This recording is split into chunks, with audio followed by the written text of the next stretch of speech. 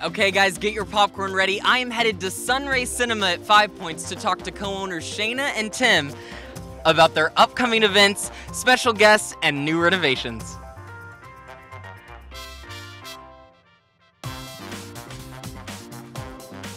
This is Trending with Trent at Five Points in Riverside outside the Sun-Ray Cinema, where I'm going to sit down with acclaimed director, filmmaker, choreographer, dancer, Wakefield Poole, and find out about all the special events coming to Sun-Ray. What we knew about the theater was that it was uh, very special to the neighborhood and that it had been running on and off as a movie theater since 1927.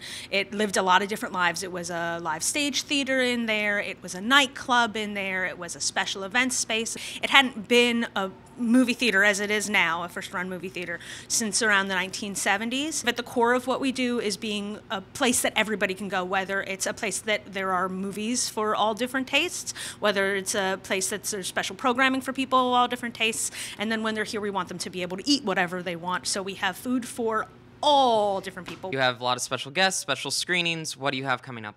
So um, this weekend, um, we're really excited. It's the next in our series called The Talkies. And The Talkies is a series in which we invite filmmakers to come to our theater and do a live director's commentary. This next one in our series of The Talkies is uh, Wakefield Poole. I started getting bookings all around the city as Jacksonville's singing sensation.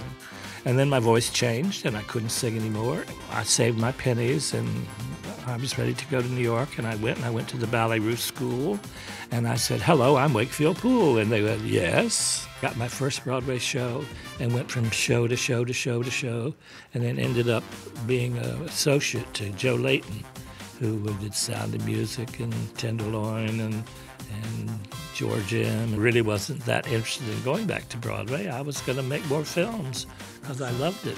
It hit my power mode. I've, I found the power behind the lens. The really neat thing about Wakefield Poole is that Wakefield Poole is local to Jacksonville, and um, his, he's an experimental filmmaker, and we're showing his film Bijou, and he'll be talking through it. Everyone on Facebook was like, "You should get an award for pizza. Your pizza is on point." Yeah, um, the one that's really popular that surprises the heck out of me, not because it's not good, but because it's really unusual, is the bold new pizza of the South. I want to make sure you know you're ordering a non-dairy white pizza. They Is want best of both worlds. They They, both sound delightful. That's the cool thing. That is that you can get the most best of both worlds and the movie world too, in theory. Ah! Plug. Plug. Okay. Beautiful.